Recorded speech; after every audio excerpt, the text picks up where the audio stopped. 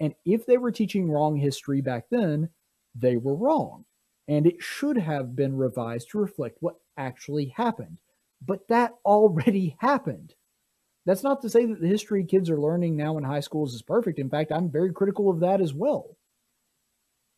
But not because it was whitewashed with Confederacyism. That's just stupid. I mean, look at me. I'm the whitest person on planet Earth, and you know my background. I just laid it out for you. If anyone was going to be taught Confederate race history, it would have been me, and it didn't happen. Hey, fellow tacticians. Be sure to like this video and subscribe and ring that little notification bell. That supports this channel's conservative content, which is good for me, good for you, good for America, but really bad for the dark cyber overlords at YouTube. That was stupid. I know it was stupid. Really stupid. Hey, I just said it was stupid. And for today's Daily Dose of Stupid, we have Joy Reid is going to be the source of this particular Daily Dose of Stupid. She had this tweet come out the other day, which I thought was just hilarious. And I feel I don't usually make arguments of authority because I feel that they're weak, but I, I think you'll see why I'm going to make this one. I'm going to make an exception to that rule for this one particular one, and then I'll, I'll get into some more substantive arguments here in a second. So this is Joy Reid the other day tweeting about critical race theory, and her response to one of the tweets in this thread was, currently most K through 12 students already learn a kind of Confederate race theory whereby the daughters of the Confederacy long ago imposed a version of history wherein slavery was not so bad and had nothing to do with the Civil War. And lynchings and violence never happened. Okay. I want you to keep in mind when I say this that I'm 32 years old. I graduated in 2007. I went K through 12 to the same school, same school, same building. Never never moved schools the entire 13 years of my pre-college educational career. This town, Marbury High, is a podunk town. It is an, it is in Autauga County, the county that has the most dirt roads per square mile of any county in America. So this is out in the boonies. It's the middle of nowhere. You've heard of one stoplight towns. We didn't have a stoplight. We had one four way stop right next to the Citgo, which was the only gas station in town. That's it. That's where I'm from. This is extremely rural Alabama. And it's only about 45 minutes away from Montgomery, the original capital of the Confederacy. Furthermore, it is only five minutes away from the Confederate Memorial Park. It was so close that you could actually walk to it if you wanted to. It was easier to drive because it is a couple miles, but you can literally walk from my high school to the Confederate Memorial Park. At this school, it was almost the entire time I was there, roughly 85 to 90% white. So, an extremely white school. Very small school, only about 500 students, K through 12. In my career at that school, out of the 12 years that I had history, I only had one black history teacher one year in the seventh grade. If anybody was the poster child for Confederate race theory, it would have been me. If anybody in America was learning Confederate race theory, there is no one better situated to have had that taught to them than me. I can assure you it never happened. It simply didn't. We learned about lynchings. We learned about the Civil War. We learned that slavery pay, played a significant part in the Civil War. In fact, I think that my history books probably overemphasized its impact. Not to say that it wasn't the biggest contributing factor, because I think it was, but I think my history books actually overdid it and talked about it as though it was the only thing that was a contributing factor to the Civil War.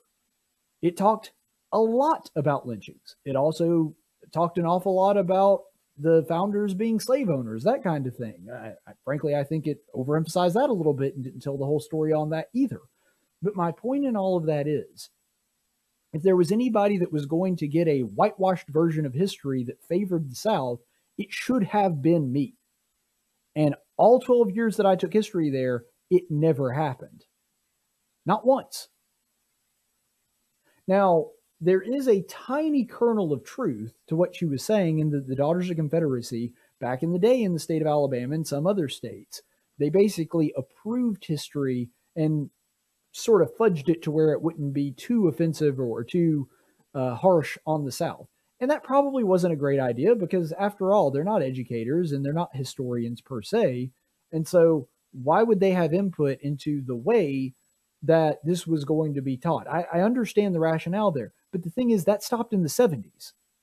And again, we're, we're moving now from anecdotal evidence to actual evidence, actual um, arguments for this. I found about three or four articles, several of them from Alabama publications, including AL.com, which I'm normally fairly critical of. But they even said that this stuff, uh, the farthest back they could trace it, was being used maybe into the 70s.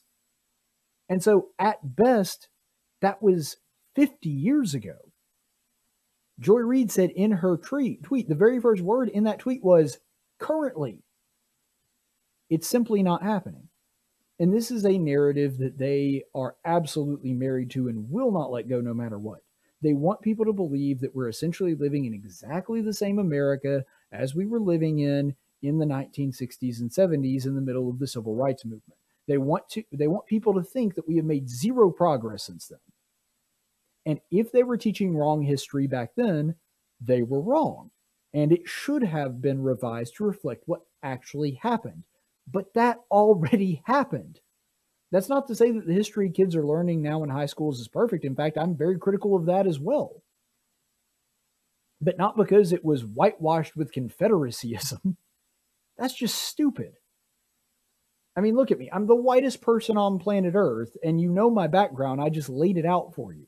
If anyone was going to be taught Confederate race history, it would have been me, and it didn't happen. It wasn't happening then, back before 2007. It's not happening now. But Joy Reid and people on the left have to continue to push this narrative that things haven't changed in 50 years. But here's the thing even if it were true, even if every word of what she was saying were 100% true, that we were still living under the Daughters of Confederacy version of history, to where, um, and I don't even think their version of history said all the things that she claimed, but uh, that slavery really wasn't that big a deal and it really wasn't that bad and it had nothing to do with the Civil War and there were no lynchings and the civil rights movement didn't really have. Okay, let's pretend that everything that she just claimed was 100% correct. It's still a bad argument. And here's why. Teaching history badly is not an excuse to he- teach history badly in a different way later. Two wrongs do not make a right saying that there were some school children that learned history wrong, or in, in Reid's case, claiming that it is still going on and they're still learning history in a whitewashed, Confederately approved way. Even if that were the case, it still would not be an excuse to skew history the other way and teach it incorrectly in a different light. See, this is the problem with this whole tribalist game that we've got going back and forth is everybody should just be for let's just teach history the way it actually happened. Let's just go to original sources. You know, don't even worry about the historians all that much. Let's just go to original sources and teach history based on what we know about it. Believe me, I am in favor of overhauling the way that we teach history in this country. It's been bad for a really long time. And as somebody that studied history a lot on his own and had to teach himself a lot of that history, I can attest to that. But because we have taught history incorrectly in one way, that is not an excuse to teach history badly in a different direction or favoring a different group in the future. That simply does not make any sense, even if what she was saying were true. But they are so obsessed with teaching that America has made no progress, and this is the only thing apparently that Joy Reid can muster. To convince you to like this video and subscribe to my channel, I'm about to do some political impersonations. First up, Bernie Sanders. It is immoral that in this country, the top 1% of YouTubers get all the likes and subscriptions. John Kerry. Please remember to ring the notification bell. President Joe Biden.